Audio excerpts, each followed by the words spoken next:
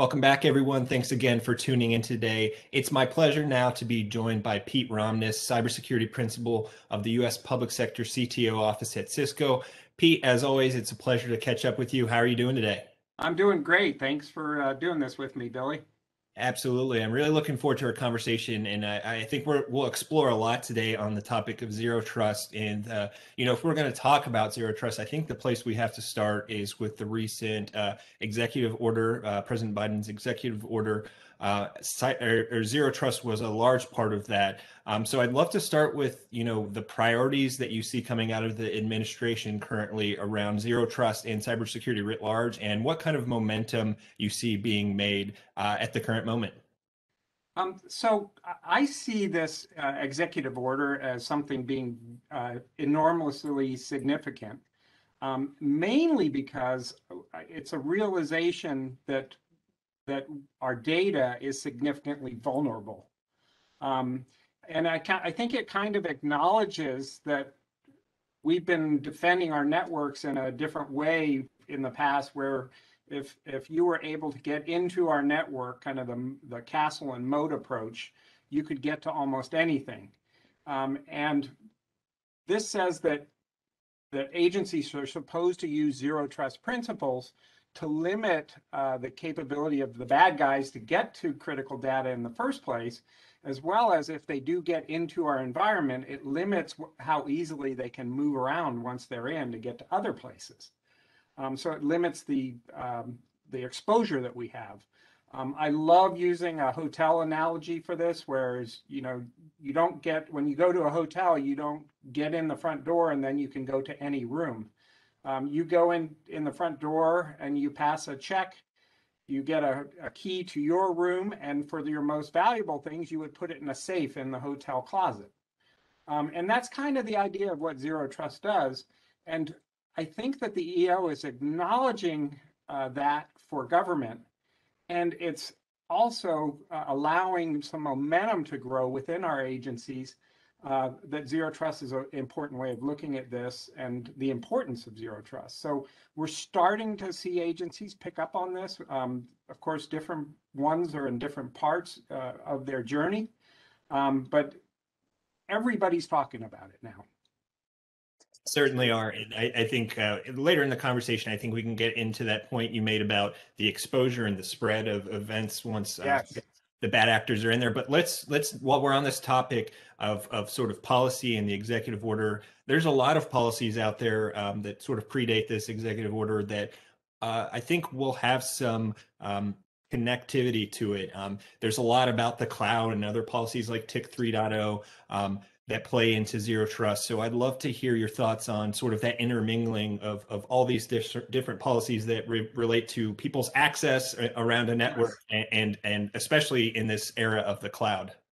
So the short answer of all this is that zero trust enables all these other things. Um, uh, but I like to talk about how NIST has defined zero trust in their uh, special publication 800-207, where they talk about it as um, uh, organizations making risk-based policies and using them to control access to every enterprise resource right? With a policy of enforce a, policy enforcement point in front of every resource so that before access is granted trust must be created.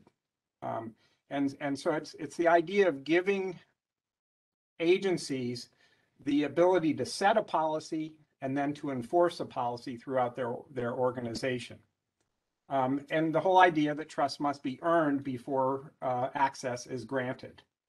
Um, 207 talks about uh, that as kind of the center of zero trust. And then they talk about all the security tools that go into making these trust decisions. So, uh, you know, when you start talking about CDM, um, you know, that's a big government program, continuous diagnostics and mitigation. And, and CDM provides you input to make these trust decisions. Or if something bad happens that you see with your CDM system, you can revoke that trust decision. Um, and then for like TIC 3.0, it's uh, TIC, TIC said that every uh, access to government, uh, from the government to the internet must come back to headquarters go through a security stack, and then go out to the internet. Um, and that, of course, produced what was called the tic tacs, uh, where you you have bad latency, bad user experience, expensive communications, all of that, of going uh, sometimes from one end of the country to headquarters and then back out to a cloud on the other end of the country. So traversing the country twice. Well, if you apply zero trust to that, what you're saying is you're putting your trust boundary uh, at the resource. And so that when it goes out to the internet, it is safe to do so. Um, and TIC 3.0 allows you to do that if you put the proper precautions in place. Um, and, and the same is true of, you know, if you have assets in the cloud, if you put a boundary around it and apply TIC uh, zero trust principles to it, then you can do that safely. So it really is, you know, zero trust is not a, something that you buy. It's not something that you do. It's a way of thinking. It's a it's a it's a design principle. And if you apply it to all these things, it enables them. That's a great point. Uh, let's move on to, you know, you mentioned the sort of once a, a, a bad actor gets through the boundaries and yeah.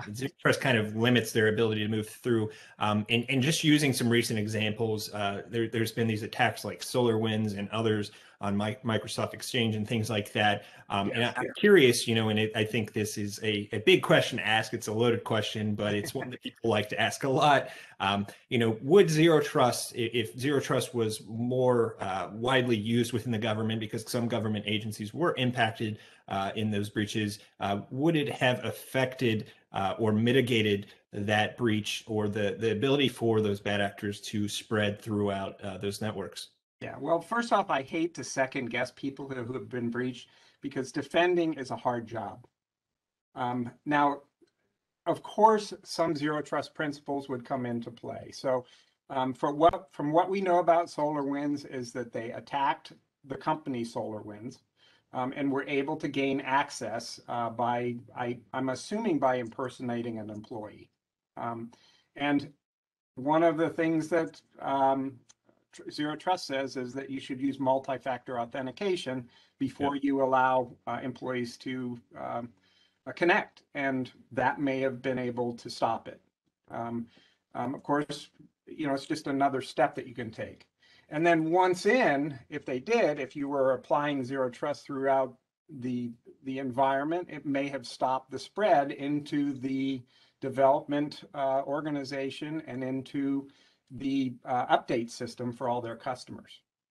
From the other end um, of the SolarWinds thing to the customer side, um, if customers were using um, uh, microsegmentation, you know, allowing access just to the individual resources like Zero Trust calls for, that may have also limited damage. Again, it's hard to second guess, and I hate to do that to anybody, but the, you know, those are just a few examples, and I think zero trust principles pretty much help with almost any situation. Sure, sure. It's it's an unfair question to ask, but it, it yeah. it's, it's one that people ask a lot, um, and I think that's the point of the EO and why it came out was to sort of make sure things like that don't don't happen anymore. Um, Pete, you, we've we've talked before about your work with, and you mentioned NIST earlier on, uh, the yep. NIST National Cybersecurity uh, Center of Excellence um, on Zero Trust. Um, you've done some work with that team. Uh, so tell us about that and, and sort of what uh, is being accomplished there. Um, yeah, so, you know, being a part of Cisco, we're really proud to have been working with the National Cybersecurity Center of Excellence for a long time. Um, we truly believe that the standards that NIST uh, demonstrates help move our economy forward. Um, and you know, one of Cisco's big things is we want to give back to our communities. We want to make sure that we're, you know, we're trying to connect the whole world, and this always helps. Um, Cisco has advanced technologies that contribute to zero trust. Um, and so by being involved with NIST as they are developing these documents, it allows us to tell them about them and, and things that they may not have realized. Um, you know, an example I love to give is that in order to do this segmentation of a network, it's conventionally been thought that firewalls were needed to to you know turn on and off ports to not allow uh, you know certain parts of the network to talk to another part. Um, well, you know, modern advanced switches that most of our customers already have a ton of can also be used for this. Um, and so in the NIST 200 uh, or 800-207, they actually acknowledge that it's not just firewalls, but it, it's advanced switches and routers and other ways can be used to control access. And you know, the modern switch can, can that you know we have all through our networks can control access to the individual port. So if one device is giving you problems, you can disconnect it or make them re-authenticate. You don't have to shut down a whole VLAN or however, uh, what other way that you've uh, segmented your network. So, it, you know, it's things like that that we can bring to the table and that, that we hope that will be incorporated as NIST uh, puts out their documents. That's great. Thanks for sharing that. Uh, Pete, let's close with a question uh, on, on, on sort of what's next and the, the sort of challenges that still exist um, and, and, and what those challenges are that remain on the journey to, or the federal government more specifically's journey to yeah. zero trust. Well, it's it's really I think it's really a matter of getting the zero trust mindset and moving forward. And I think that's what this EO really does, you know, kind of going back to the beginning of our conversation. Um, it's an, and it doesn't have to be a matter of throwing away what you already have in your environment. It's about developing a plan um, and making strategic additions that so that you can get the most out of what you already have with this zero trust mindset in mind. Um, things that I like to point out that are important for zero trust is this whole idea of trusted access, right? It's before you get to any asset and from from any asset that could be a person, it could be an IoT device, to any other asset that may be in your data center, it may be an app, it may be a micro app, you know, you name it. Those are assets to you. And you have to have this ability to control access to all of those, um, both going in and going out. Um, the other thing that I see as very important is this continuous visibility and enforcement, knowing, knowing what's going in and being able to control so that you can control this access and see what's going on in your environment. We talked about microsegmentation, but getting it down to the individual device, I think is important. And one thing that is always overlooked is automation. Mm-hmm. With zero trust, you're making tons of access decisions, and it just can't be done using the old access control list or with somebody trying to monitor it and make it happen. It has to be automated. Um, and finally, uh, threat intelligence. You need to know what threats are in your environment, what threats are in the worldwide environment, because that affects your trust-based decisions. So, um, you know, I always talk about the road to zero trust doesn't have an endpoint. Um, and the good news is, is that most agencies already have everything they need to get started, like the switches and routers that I already talked about, and and and many other parts of, uh, of the network and your environment. Um, and of course, um, you know, our Cisco teams are there to help if anybody needs it. And, and we really want people to get from point A to point Z for zero trust is kind of where we're trying to get. That's great. That's great. It's all about the mindset. That's the takeaway from it. Um, Pete, always a pleasure to chat with you. Um, and it, it's it's been great uh, to to hear about what what you're doing with Zero Trust and the federal progress there. So uh, we'll we'll table it for now, but uh, hope we can do it again soon. Thanks very much, Billy. It's great to see you. You too.